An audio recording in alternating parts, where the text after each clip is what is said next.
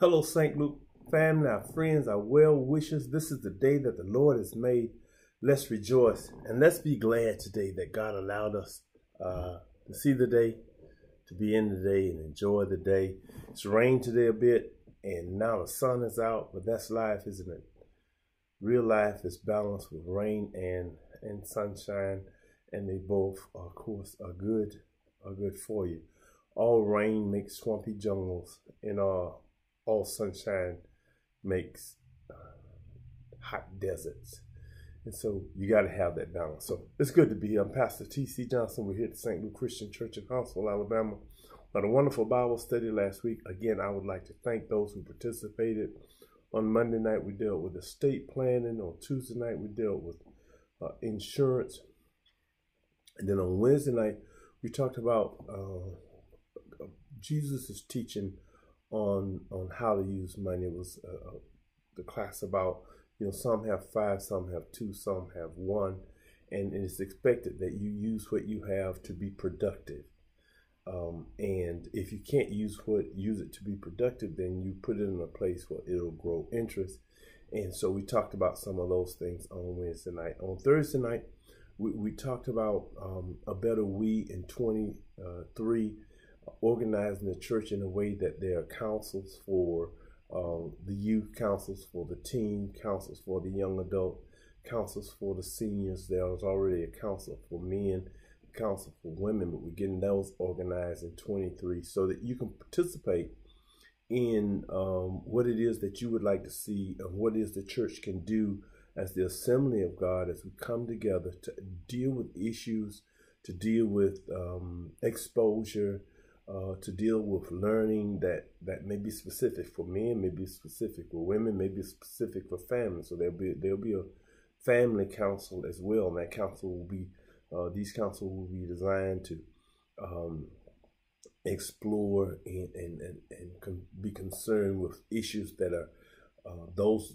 various groups are dealing with by way of education, uh, by way of exposure, mean, meaning uh, by way of recreation and exposure. So I'm excited about what we're going to be doing here in the next um, six months and organizing the church in a way that it speaks and addresses the issues.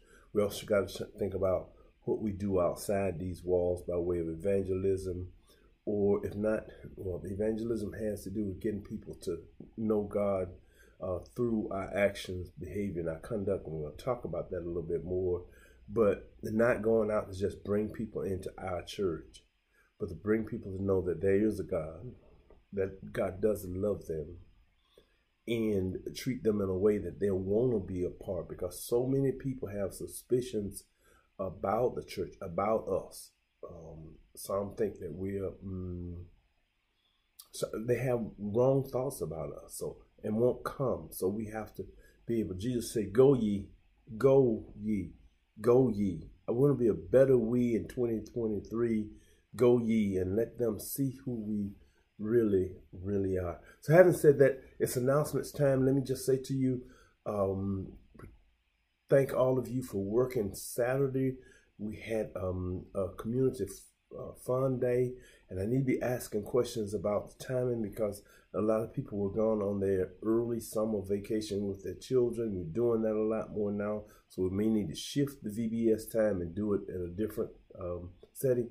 The other thing I want to ask you if there are subjects that you want brought to uh, VBS or any other time period, please, please, please go online and um, we'll have something online to say, hey, you suggest that we teach on whatever what we've gotten a lot of that. People were glad to talk that we talked about wheels and estate planning and learned about it. We brought in a professional, we brought in the insurance agent to talk about uh, insurance, and they're willing to do these things uh, again. And it's all online actually from last week. But I want to thank those who worked at the Fun Fest. The men cooked up some food, uh, women cooked up some food, some desserts. and We just had an abundant amount, and I'm thankful uh, and thank you. I know you were tired. I was tired as well. So we are, are thankful for that being um, as positive as it was.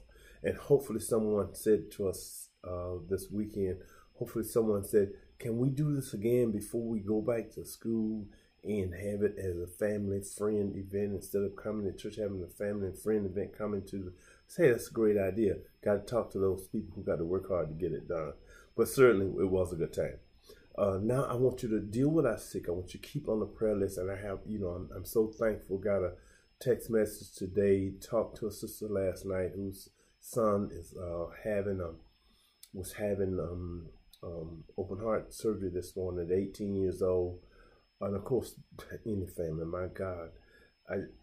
It, but the the text came back.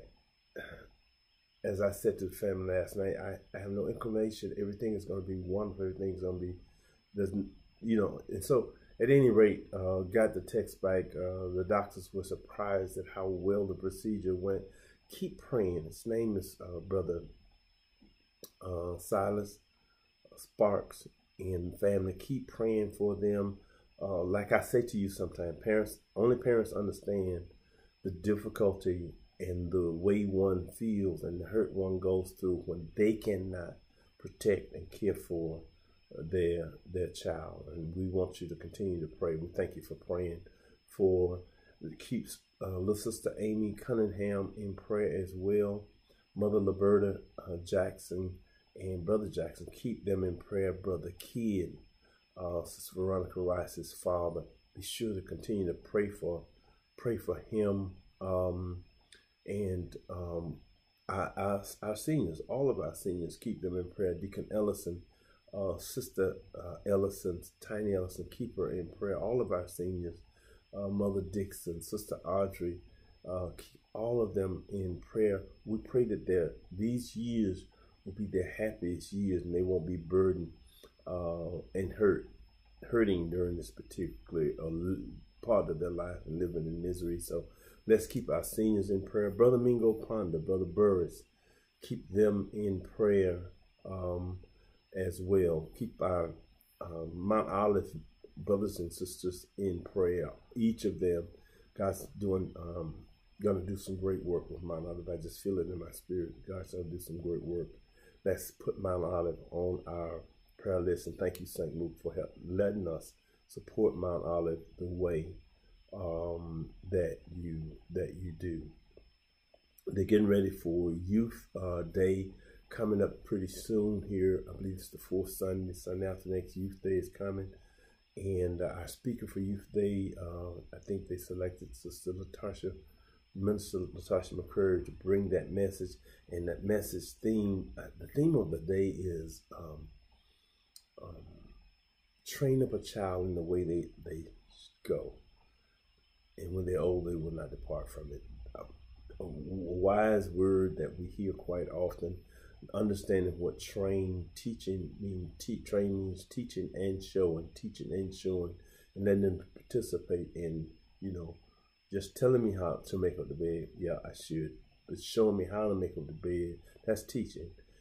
Showing me how to make up the bed, is, is a part of training, then allowing me uh, an opportunity to make the bed. And I'm going to make some mistakes. I'm not going to make it up as well as you do, but ensuring that I participate. So you're teaching and you're training, and you so you're not just telling. You're not telling people what or what not to do. You're showing them uh, as well as telling them. So that's going to be that subject. That's going to be challenging. So I look forward to hearing that.